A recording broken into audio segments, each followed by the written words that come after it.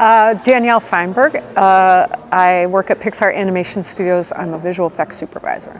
How did you start your career in animation? I studied computer science in college, and in my third year, took a computer graphics class and learned all about the programming behind graphics, basically. But one day, the professor turned out the lights and played this computer animation, and it well, I think it was the first computer animation we had probably ever seen. Maybe there was a little bit in commercials on TV, but um, and I just fell in love with it. The, oh, that's what I have to do with my life. It just it felt very magical to be able to create worlds and um, characters and tell stories, but also the idea that you could take this computer that's zeros and ones and writing code, and what could come out of it is animation or a whole new world. I don't know. It was just, everything about it was very magical to me. And um, I graduated and about six months after that applied to Pixar um, for a very kind of entry level technical position in rendering and uh, worked on my first movie was A Bug's Life, so Pixar's second feature film. You worked as director of photography for lighting in WALL-E, Brave, Coco, and visual effects supervisor in Turning Red. What is the difference between the two roles? Great question. Um, you know, as a lighting DP, I was helping craft every frame of the movie in, in sitting down with each lighter and directing their lighting and um, talking with the director a lot to see what they wanted and getting really into the, the deepest parts of what the look of the film should be. And I love that. And also the strategy of how you're going to get all the lighting done because we usually at the end and so any deadlines missed earlier we have to make up for. As the VFX sup, I got to do sort of more technical stuff than I had been able to as a lighting DP, so getting to use that part of my brain more. A lot of strategy about how to get the movie done, which I love. And still some of the creative, especially because Red was trying to find a new kind of style to the film, and a lot of that becomes creative and some of the technical of how to execute that. Um, but it was really interesting to be on the leadership team of the movie so that some of the things I maybe had struggled with on previous movies, I then was in a position to do something about that and do it differently. And so I found that very empowering and satisfying. I loved being able to have a little more tech to add to the art. I definitely missed how much creativity filled my day as a DP and how much influence I had over the whole film. As a VFX sup on Red, it's I think it'll change every movie, but on Red, um, some of it became more about um, how to get the movie done and um, some of the technical and a little bit of creative. And so it was a mix I loved, but I just I missed having as much creative as I've had in the past. So, but you get to trade one thing for another. So, so it was great. Any other roles you would like to try? Maybe director? um, I'm I'm already starting on another film as VFX sup. I'm really excited about that. It's always fun to do it once, where you're like everything's new, and then you get to do it again and you know, feel like, okay, I didn't do it the way I wanted on th that film, so now I can change and do better at it. Um, I don't look too far ahead because these different opportunities sort of present themselves and go for that. But being a director at Pixar is no joke. It's a very, very hard job. And so it's not anything that I've ever been like my ultimate goal or something. Um, I really, I really love being kind of in the mix and, and being able to um, have influence over people's experience on the film and, and directly what we can build, bring to the screen and in what way. Um, so I kind of love being in the mix like that, I think. Like many Pixar films, Turning Red had a lot of technological challenges. Can you tell us about the work beyond the panda fur? Yeah, the panda was definitely a big thing where you have a, a big furry creature that um, has to do a lot of emotional acting and a lot of action type stuff, um, which means you need sort of a full range of, of animation capabilities. And then you put fur on that, and if you've done anything not quite right, the fur will show it because it will be all kind of off that was definitely a challenge. I think we've come a long way and that that was not even the biggest challenge on the movie. So that's great. It was introduced that we had this giant panda then and the question was, well, if it's a giant panda, can you just scale the hair up or does it look like creepy big tubes of hair then when, because of course it wasn't just that we had a giant panda, we had a giant panda had the little panda crawling up and grabbing onto the hair. So there were definitely some tricks to that in terms of from far away, we scale up the hair so you don't have 100 million hairs or something absurd. And then um, when we're close up, we maybe do what we'd call like a stunt arm. So it's just an arm that has a bunch of hair, so you aren't multiplying the hair over the whole beast. So all of those were challenges. Uh, there was huge simulation challenges in that you have a hair, hairy character, then they added seven more pandas. Then you have a, a hairy character climbing on a hairy character, and there's all this hugging and touching and messing with hair and being rolling on a bed and a comforter. There's just like an insane amount of simulation that I think initially we didn't even realize how hard that part was going to be because it was just almost in every shot. And this sort of regular shot on the movie was much harder than a, another kind of movie, but sort of deceptively so. Animation would add in a hug or a touch or whatever.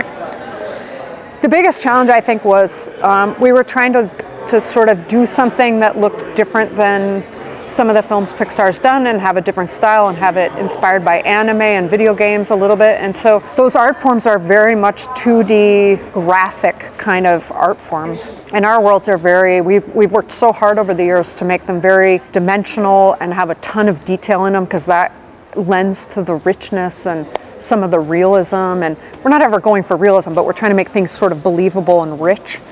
And so it was really not obvious in the beginning how to marry those two things. And so it was definitely a process to figure out how to blend those two things into kind of a new thing.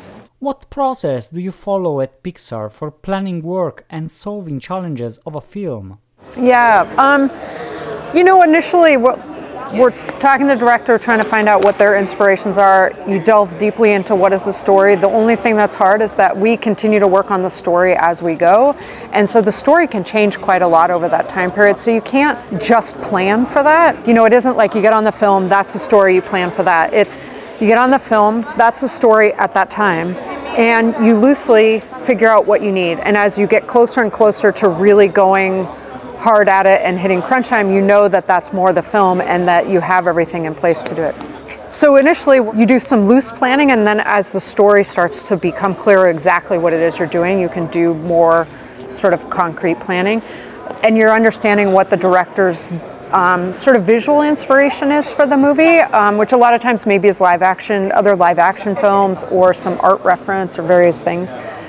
You have to you know, mind meld kind of with the production designer who's designing the, you know, the head of the art department designing everything in the film so that you can kind of be a cohesive unit in bringing it to the screen. So, and then from there, we just start trying to figure out what either in camera or lighting is the best way we can use our craft to help tell that story and support the story. And so, there's all kinds of ways we do that. One of them is like a color script. So, we're planning out the whole film where we maybe graph, the, literally graph the emotions of the main character, and then take maybe a frame from each um, scene in the movie sequence and put it up and look at it and sort of make sure that where you have super emotional moments, you can the, the audience can feel that impact. If you um, have something that's a more depressing scene, that they can feel that, and so that you can kind of map the visuals to the, the emotion you're trying to hit with the story. Can you tell us about the new Profile Movers technology adopted in Turning Red? So it was really cool. Um, around the time I got the visual effects supervisor role on Red, on Turning Red, I went to this um, technical director breakfast, we call it. And so every maybe six months we have one. Um, and people present the cool stuff they're doing on future movies, or sometimes people have side projects they're doing. And this guy, Bill Scheffler, who's one of our longtime riggers, presented about profile movers. And the idea is that instead of the traditional point weighting system of rigging where you're pulling points around to get something to look right, you kind of do the initial pass and then you're finessing it and you do that over and over for different all the different controls. In this case, you put a series of curves onto the character. The computer then solves where the points should go to hit these profiles. Um, and so what it means is the rigger and the animators can think about what shape they want the character to hit, and the computer does the hard work of kind of getting the points in the right place. And it layers on top of, a, of your regular rigging system, so it isn't like you're choosing one or the other. Uh, and it made a huge difference on the film, I think, and we used we used it for the pandas, and it was really great. And now it's it's getting used on all the future films. But it to me was this very clear win in terms of it's how people are thinking about what they're doing anyways is what the silhouette is or what shape they're trying to hit And so if you could get the computer to do that hard work to figure out where the point should go, then, then how could you not do that? And there's some very brilliant stuff going on in there to get the points to do the right thing based on this curve. It's not, it's not a simple thing. But uh, between Bill Scheffler and Fernando de Goes and Kurt Fleischer, those two guys are in our R&D group. They figured out a way to do this whole thing, and it's pretty phenomenal. Unlike other studio films that are rich in detail and have a more photorealistic style, Turning Red has a more graphic style. How were the materials made? It was, we got to a certain point where it felt like we were figuring out the style of, say, the animation and some of the modeling and set dressing because it was somehow that aesthetic was easier to come to of like the director described it as chunky cute and so if you're modeling something it's easy to change the proportions to get to that. It, it was a more direct one-to-one thing of what does chunky cute mean? And in set dressing it was because color was very important on this film we used repetitive shapes and then clusters of color. Um, and so that we already kind of knew that's what we were doing in some regards but it became really not obvious in materials because part of materials, one of the goals is to get a lot of detail and that's how we get the richness. And so how do you get more graphic and stylized with that when it's sort of the antithesis? When we tried to just pull back on things, it looked pretty simple and it didn't look, it just looked like we almost hadn't done the work. And so that was not going to work. And so there was there was a little moment in there where I felt kind of worried that well, where where is the in between and can we find it? And um, we had Eric Andreos, who's one of our fabulous shading um, artists, come on and, and he started playing with it and started figuring out with our, we have this, this art director who is, um, they kind of worked together and, you know, he took some of what the art director had done for a, a kind of a shading guide and then he brought his expertise to it. And pretty soon it was okay, we have a more limited range of materials so that there's not a lot of shininess to things or specular. And then where you wanted to punch out details, you got more shiny. Um, but the range was was smaller and we changed which specular model we were using so it it had a less realistic and more kind of artistic look to it wherever there was shine. And then there was, I think the most important thing was the textures became stylized. And so instead of a lot of stuff that looks like dirt on something that you would apply, it was more like kind of almost paint splotches and looked, the passes looked more bubbly and rounded and more cute. And so you still got that richness, but the shapes of it were different and maybe how kind of small and detailed and repetitive were different, but it still managed to get a lot of that richness in there. But then, of course, with all these movies, there's things you have to make an exception for, and it turned out the food was a, was a big one because you really, putting food in a movie that doesn't look appealing is not a good thing to do.